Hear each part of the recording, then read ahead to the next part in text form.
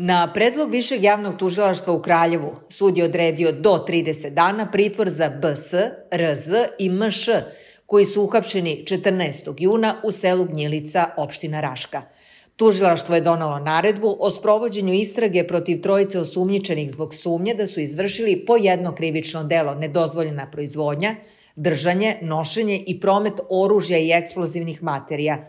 Trojica pripadnika takozvane kosovske policije su službenim vozilom marke Dacia Duster došli do alternativnog prelaza Tresava Batnjik, ostavili vozilo i nastavili dalje peške putnim pravcem Orahovog Gnjilica, gde su locirani i uhapšeni od posebne antiterorističke jedinice MUPA Srbije.